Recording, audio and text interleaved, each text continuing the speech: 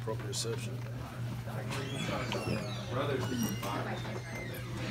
Kyrie, one of 82, but considering they were undefeated, the rematch, does this game feel a little bigger?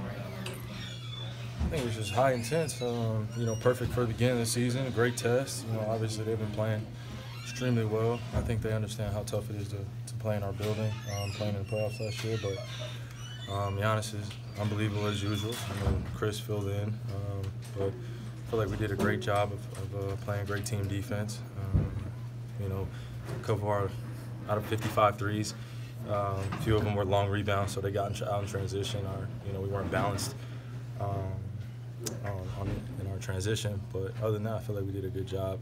I think the score was a lot closer than what the game actually was. I think, um, you know, a few timeouts when we came out, they, you know, we, we kind of got stagnant every once in a while. We missed a few shots and they got in transition. Giannis got to the free throw line. They slowed the game down. So, um, but overall, we feel pretty good about this one. 55 too many? Hmm? 55 too Never. Get them up.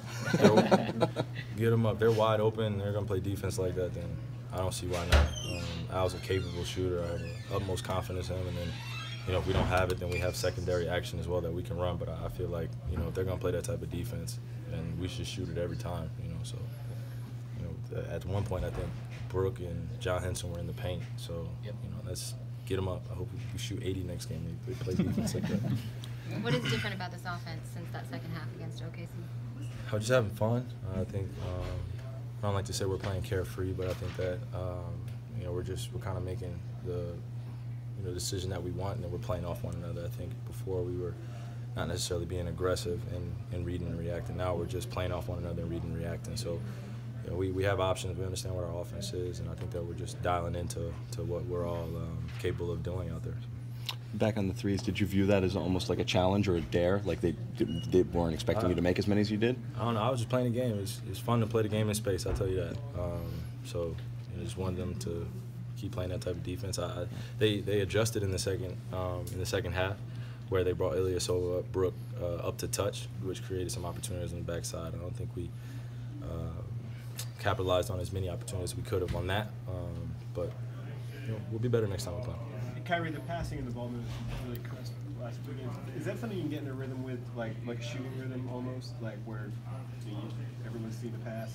And, Yeah, I, I also think it took some adjustment for us of just being able to make those reads and when someone drives the basketball, being ready to catch and shoot. I think some of our guys in, in the locker room, including myself, uh, you know, it's a it's a big transition to, you know, you're you're a ball dominant guard or a ball dominant big. You're used to seeing the basketball, and then you have to be out in the perimeter and be ready to shoot. So. Uh, for us, just moving, getting that ball hopping, seeing guys, you know, take some open threes, feel good about it, gets us in a great rhythm. there can be a difference between like unselfish and overpassing.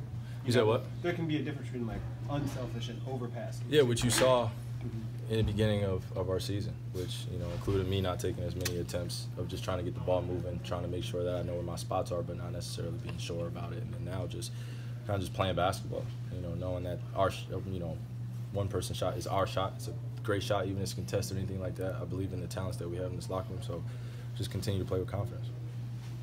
Third, uh, did you, did you want to, at halftime, want to come out yourself, be even more aggressive, or still be the same? Oh yeah, yeah. yeah I just wanted to keep the flow of the game going. Yep. Uh, start off the third quarter with, with a, a, a kill mindset. Uh, I think we came out and did that.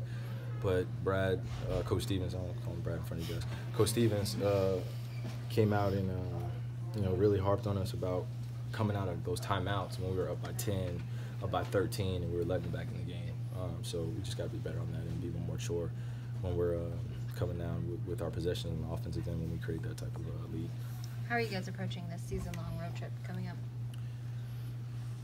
Uh, it's a big test. Big test. I, I think that'll hit us once we kind of get on the road and, and get out that first game and, and realize that we're going to need um, a higher level of play, especially trying to win on the road. I think we have a great locker room here full of guys that understand how hard it is to win in general, but how hard it is to win on certain uh, other teams' floors. And the teams that we're playing against, they're, they've been playing really well. Nuggets, Pacers, of course, Portland. You know, I won't be at the Utah game, but uh, Phoenix as well. Great young core, so looking forward to the challenge.